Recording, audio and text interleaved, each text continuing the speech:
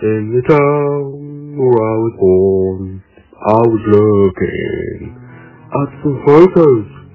Me near the Beatles took a while ago, and I saw one of them of me eating a chip butty.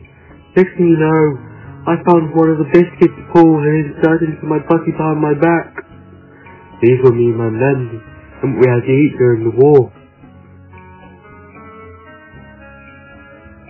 So I got on my camera as quick as I could.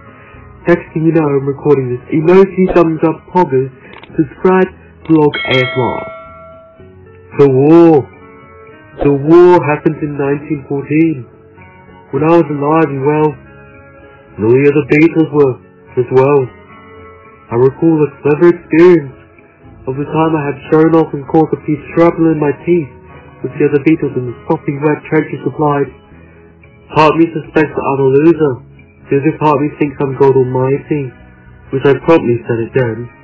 Playboy Magazine, 1980. This boy bombastic, this bombastic event promptly caused a French soldier across the trenches to fire a harpoon gun straight through my leg, which I said, I've always been politically minded and against the status quo. That's when I learned to play the guitar. Thank you for watching. Be sure to subscribe and hit the bell button if you don't want to get shot with a harpoon gun. Comment below six peanut emojis if you want to be in a you want a part two. Thanks for watching.